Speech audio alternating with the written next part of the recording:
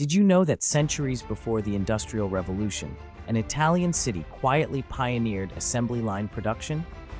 Welcome to the Venetian Arsenal, a sprawling shipyard founded in 1104 that would become the beating heart of Venice's maritime empire. By the 16th century, this vast complex covered nearly 45 hectares and employed over 16,000 workers. What made the arsenal truly revolutionary was its unprecedented approach to shipbuilding. Workers specialized in single tasks, passing ship components down a production line, an astonishingly modern system.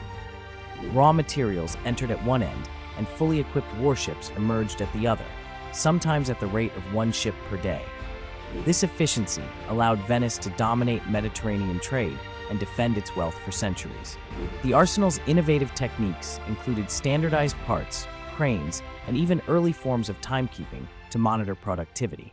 Its influence rippled through Europe, inspiring future industrialists. Next time you think of assembly lines, remember, this transformative leap began long before factories in the heart of Venice.